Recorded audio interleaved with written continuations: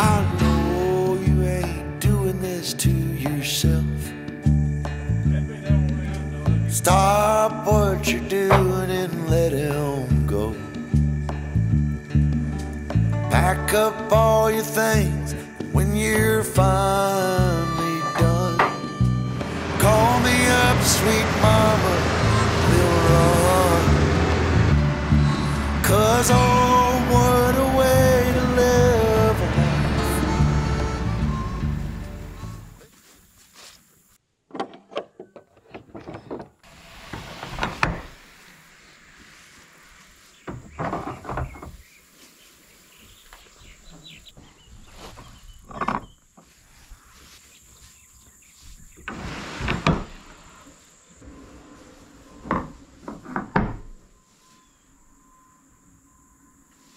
Friends, for those of you not familiar with the kiln, I'll give you guys a brief little tour of this chamber. We have four fans right up there. That's the fan wall. And that's where the most of your air comes through. It comes down from there into the lumber right there. You want to get that hot air to go through your stacks. And that's what dries your wood. And above it right here, if I can get the lever to move and hold the camera at the same time, got our baffles right here. Now, ideally, your stack would come up to the bottom of that baffle. You can go up pretty high. You can see right there. But sometimes you don't have a full stack in here, and that's okay. That's why I got that Styrofoam. I'll come in here in that little gap, and I'll put Styrofoam in here, and I'll show you guys here in just a minute how we baffle this load. You don't want your air coming through the fans and then escaping through a gap right there. You want it to come down here through the stack and go through the lumber. That's the only way it's going to dry. And also on these sides, I'll do the same thing. I got some baffles. I'll come down here with Styrofoam. I'll lean it on that top baffle and I'll try my best to cover up this whole area right here with Styrofoam. If you're on the other side, we'll do the same thing. You want to cover that gap up right there, guys. You want to force that air through your stack as much as you can. Now with this L200 Pro, there's a big improvement on it and that is this right here. This little instrument is an electronic wet bulb. And for you guys running Nyle kilns, you know what I'm talking about when I say a wet bulb. You usually have your little water vessel right here full of water collecting a moisture content reading for your wet bulb. And on this kiln, your dry bulb and wet bulb both are read through this one little instrument right here. It's a really nice feature. It keeps you from coming in here and having to fill up that water as it evaporates. Now in here in the back of the kiln, and look over the echo guys, this thing is pretty airtight. Right there are some more probes, and if you want to check the temperature of your wood during sterilization, you can drill a hole in one of your sample boards and take this probe and stick it right in, and that will tell you the temperature of your wood while it's in the kiln. I've not done that yet, but we'll be testing that very soon. Up here on the back corner wall, we have an exhaust fan. So when the kiln gets overheated, meaning if I set it for 120 and it gets up to about 125 degrees, that fan will cut on and dump out some of the heat so you can keep your temperature settings where you want them to be. Right here in the back, friends, is the main part of this kiln. This is the L200 unit right here. You got a fan on the top. It's got heat strips inside of it to heat up the kiln. And it's also got its intake right there on the bottom. That's where the moist air goes in and goes through the condenser and gets turned into water. Then it goes through that little hose right there and dumps out of the back of the kiln. So all the water coming out of your wood would go through that condenser. It gets sucked right in and then it gets condensed into water. And that's how that works, guys. This kiln unit is not drying your wood. Let me make you guys understand that. Those fans are not drying your wood.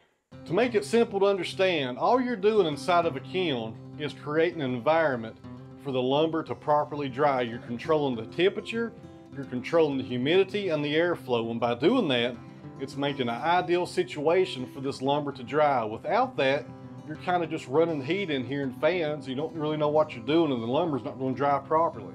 There's a lot that goes into drying timber, guys. There's so much information you got to collect, and you're always learning. There's new processes coming out all the time. But for you guys that are out there running these kilns, always try to remember that you're controlling the environment inside of the kiln or the atmosphere, however you want to call it. It's really the same thing. You're creating ideal drying conditions and controlling those conditions based on what kind of wood you're drying. But if you follow a good drying schedule, and Nyle has an excellent schedule in their manual, you really can't go wrong. You need that and you need a good moisture content reader, such as a Delmhorst, so you know your starting moisture content and the ending moisture content. That's also very important. But it's not that hard, you just have to really take all that data in and when you get to your controller, make sure you have the right settings. All right, guys, I need to put the baffles in here now. Let me see if this still works. Good deal. Got her baffled up right there. That's all you need right there, guys. I got some two inch rigid foam on there and some half inch. That's that uh, poly something. I never can pronounce that stuff. That's that extruded polystyrene. If you're interested in it, right there is the name. That's the baffles that we use, just offcuts. And I'll probably run up to the other kiln sometime today and get a few smaller pieces to fill in that gap right there right there. But that side right there looks okay. You might put another piece right there behind that one. But that's how you baffle a kiln, guys. You wanna make sure all the airflow comes from that fan down into your stack. Let's go check out the controller and I'll show you guys what this thing sounds like when you turn it on. All right, guys, one of the best things about this kiln is this touchscreen controller right here, guys. This thing is nice.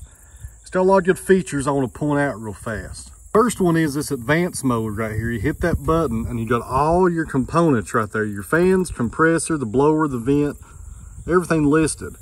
And it tells you the status of it, so if there's something wrong, you're going to know it. And you can also do a test on every one of them for a few seconds. So I hit the fans.